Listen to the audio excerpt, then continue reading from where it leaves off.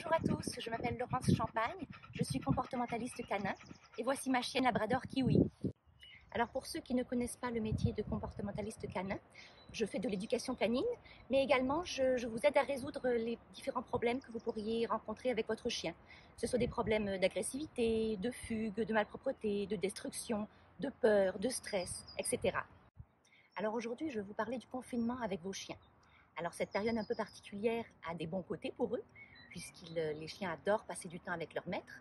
Et puis vous pouvez faire des activités avec eux, jouer avec eux, donc ça c'est super pour eux.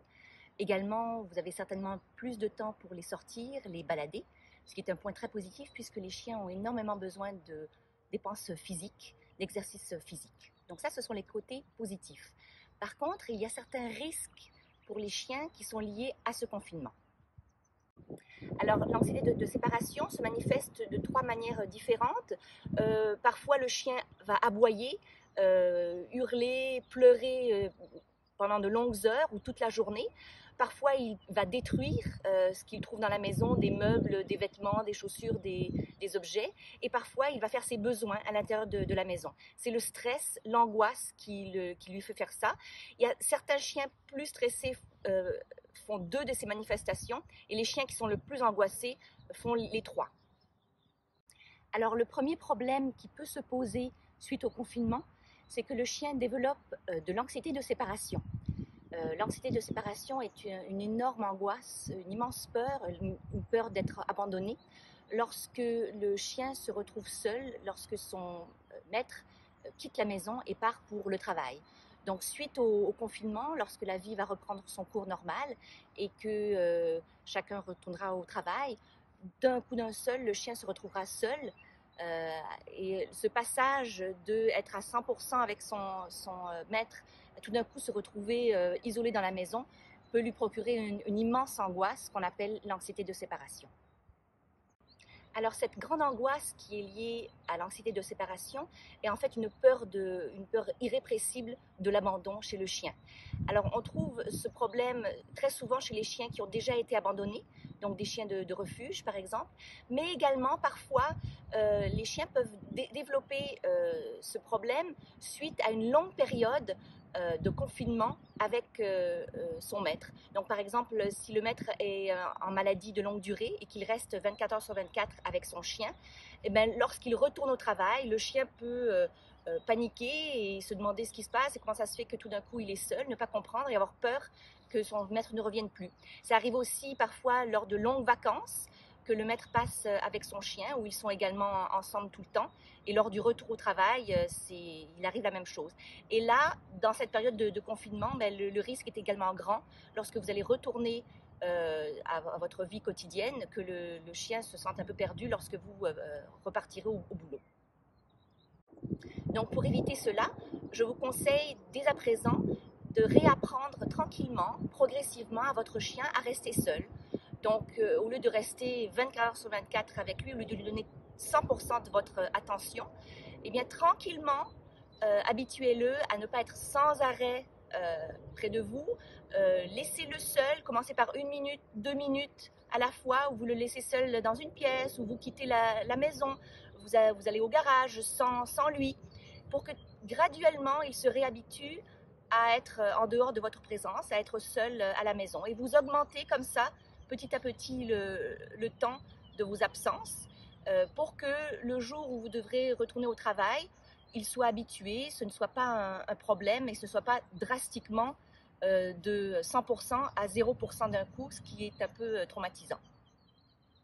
Alors, deuxième point que j'aimerais aborder durant ce confinement, c'est que de nombreuses personnes profitent de ce temps où ils sont à l'arrêt, où, où, ils travaillent moins, pour adopter un chiot.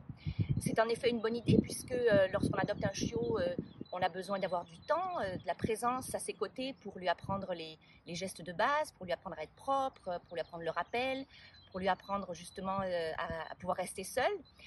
Par contre, un chiot jusqu'à l'âge de 12 semaines de vie est dans sa phase de socialisation.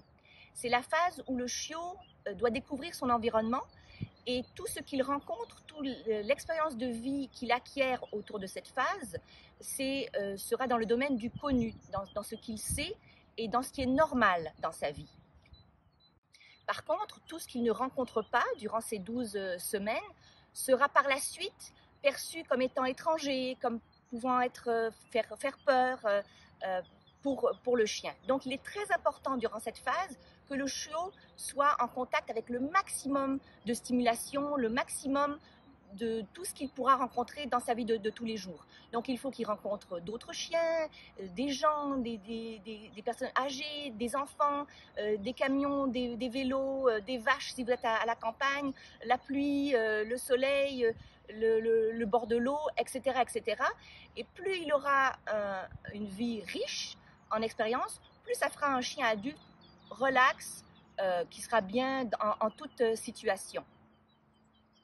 Donc, si vous, adoptez un chiot, il est important que confinement ne veuille pas dire isolation. Donc, il ne faut surtout pas que votre chiot, euh, au moins avant 12 semaines et même quelques semaines après, ne soit pas, c'est important qu'il ne soit pas complètement isolé, qu'il n'ait aucune expérience, qu'il ne voit personne ni rien.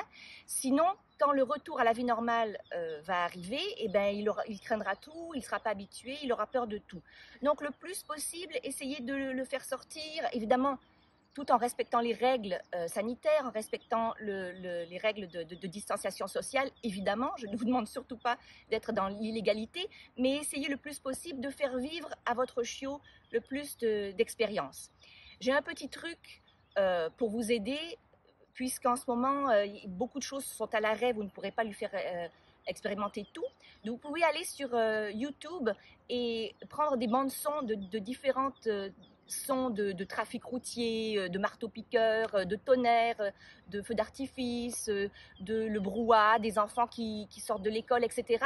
Et vous pouvez lui faire entendre à votre chien dans le confort de votre salon. Déjà, ça va l'habituer à certains sons et éviter que plus tard, ce soit un, de ces chiens phobiques qui sursaute au moindre, camion qui passe ou au moindre coup de, de klaxon. Voilà, donc c'était mes petits conseils pour le, confinement. Euh, n'hésitez pas, si jamais vous avez des problèmes avec votre chien, que ce soit lié ou pas au confinement, à faire appel avec un bon comportementaliste canin, quelqu'un de, sérieux. Le plus rapidement vous allez euh, euh, adresser le problème, le plus rapidement il pourra être réglé. Donc, ben, je vous souhaite à tous bon courage pour ce confinement et amusez-vous bien avec vos chiens. Au revoir.